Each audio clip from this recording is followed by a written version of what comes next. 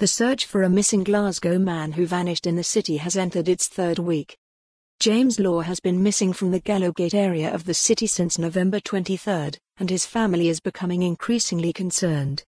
The 44-year-old was last seen just after midnight at an address in Bellgrove Street, and his family say it is out of character for him to not get in touch or keep to his usual routine.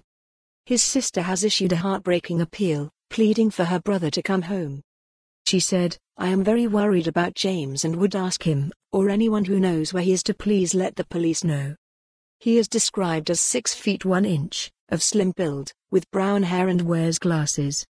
When he was last seen he was wearing a dark-colored beanie hat, a black jacket, black scarf, grey cardigan, grey trousers and black shoes.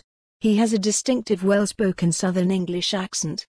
Chief Inspector Michael Duddy, from London Road Police Station, said, James has been known to frequent Ingram Street in the city centre and the Forge Retail Park in the Parkhead area of Glasgow. It is a busy time of year on these streets for shoppers and we would urge anyone who is out and about to keep a lookout for James and get in touch with us if they have any information.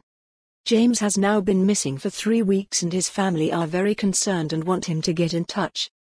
Anyone who thinks they may have seen James is asked to contact London Road Police Station by calling 101 quoting incident number 1864 of Tuesday, November 23, 2019. For more on this story, visit the news article link.